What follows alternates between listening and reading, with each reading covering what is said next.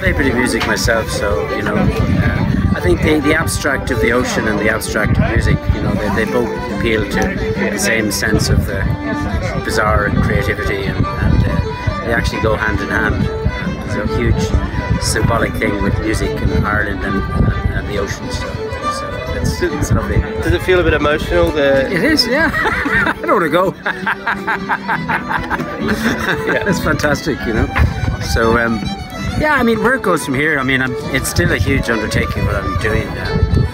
I really was on the verge of just uh, dropping out, I would say, halfway around the world, but you can't come halfway. know. So, um, the boat is a very specialist boat, so getting a proper mast set up, um, it's Kevlar carbon, it's 100 feet in the air.